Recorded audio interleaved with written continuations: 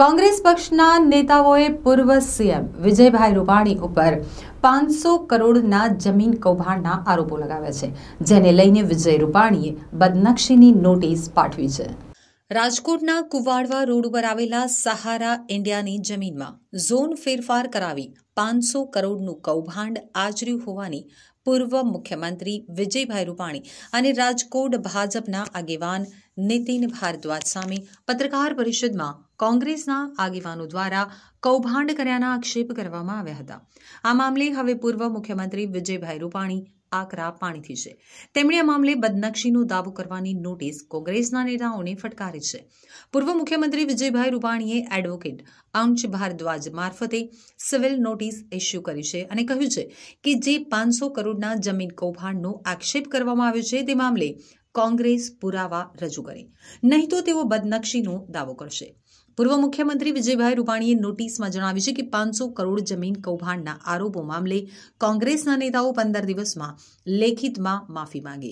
આરોપો પરત ખેંચે, નહીં તો તેઓ બદનક્ષીનો કેસ કરશે. આ ઉપરાંત તેમણે પુરાવા રજૂ કરવા પણ જણાવ્યું છે. અહીં મહત્વનું છે, અગાઉ નીતિન ભારદ્વાજ દ્વારા પોલીસ કમિશનરને બદનક્ષીની લેખિત ફરિયાદ અરજી આપવામાં આવી હતી.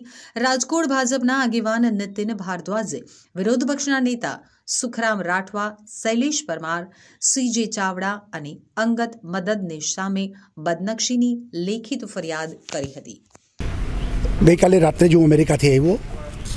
આજે સવારે જ મેં મારા વકીલ સાથે ચર્ચા કરી અને કોંગ્રેસના નેતાઓએ જે આક્ષેપ કર્યો છે એને હું ચલાવવા માગતો નથી. મેં આજે લીગલ નોટિસ ઇસ્યુ કરી છે અને એ નોટિસમાં મેં કીધું છે કે પંદર દિવસમાં કાં આક્ષેપોના સમર્થનના પુરાવા આપો અથવા માફી માગો. જો એ કરવામાં નહીં આવે, તો હું બદનક્ષીનો દાવો કોર્ટમાં કરીશ અને આગળની કાયદેસરની કાર્યવાહી કરીશ. કારણ કે પાયા વગરના, ધડ માથા વગરના આક્ષેપો છે. જોન ફેર મેં કર્યો છે. રહેણાંકની જમીનને મેં ઔદ્યોગિક જમીન તરીકેની મંજૂરી આપી છે. એમાં મેં કશું જ ખોટું કર્યું નથી. અને દરેક સરકાર જોન ફેર કરતી હોય છે. મજાની વાત તો એ છે કે વિરજીભાઈ ઠુમ્મરે પણ ગઈકાલે મારી વાતને સમર્થન આપ્યું છે કે મારી પાસે ગ્રાહક છે, એંસી કરોડમાં તૈયાર છે. હવે જમીનનું કામ મારું નથી. હું કોઈ જમીનનો દલાલ નથી. વિરજીભાઈ જમીનનું કામ કરતા હોય તો એને મુબારક. સવાલ એટલો છે કે એને પણ જમીનની કિંમત એંસી કરોડ રૂપિયા કહી હવે મારો સવાલ એ હતો કે પાંચસો કરોડનો ભ્રષ્ટાચાર એંસી કરોડની જમીનમાં કેવી રીતે થાય તો ભગવાન જાણે, કહેને વાલે બી દીવાને. સુનને વાલે ભી દીવાને. એટલે સાવ બધું પાયા વગરનું છે, કશું દમ વગરનું છે. એટલે મારા વકીલે તમામ આક્ષેપોની નોંધ કરી અને એમને મોકલાવ્યા છે કે આના પુરાવા રજૂ કરે, નહીતર પછી હું કાયદેસરની કાર્યવાહી કરીશ. રાજકીય રીતે મારી ઉજ્જવળ કારકિર્દી રહી છે. પાંચ વર્ષ મારી સરકારે ઈમાનદારીથી કામ કર્યા છે. પાંચ વર્ષમાં અનેક વિકાસના નિર્ણયો કર્યા છે.